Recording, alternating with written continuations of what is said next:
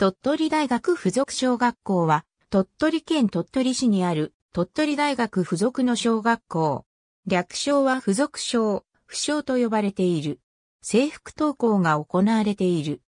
鳥取大学鳥取キャンパスに隣接しており、同一敷地に鳥取大学附属中学校がある。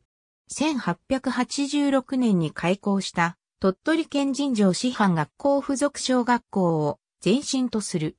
数回の解消を経て、2004年の国立大学法人化の際に現校名となった。2011年に創立125年を迎えた。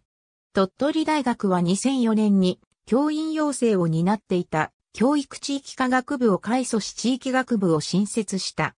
それに伴い、鳥取大学は島根大学教育学部と家庭、定員交換をし、教員養成系の学部を廃止する形となった。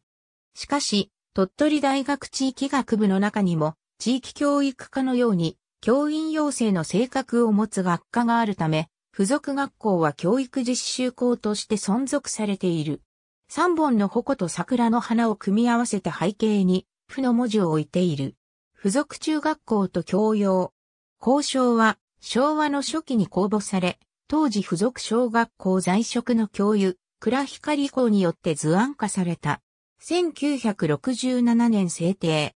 作詞は栗恵子、作曲は中田義直による。